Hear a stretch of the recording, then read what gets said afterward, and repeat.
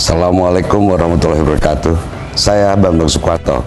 PJ Bupati Bondowoso menyampaikan terima kasih kepada Kapolda Jawa Timur, Pangdam 5 Brawijaya, serta Kabinda Jawa Timur atas dedikasi dan kerja kerasnya dalam menjaga keamanan Provinsi Jawa Timur selama pelaksanaan pemilu tahun 2024. Sehingga pemilu di Jawa Timur berjalan dengan aman dan lancar. Mari kita terus menjaga keamanan persatuan bangsa serta menghormati hasil pemilu 2024 demi keutuhan NKRI. Wassalamualaikum warahmatullahi wabarakatuh.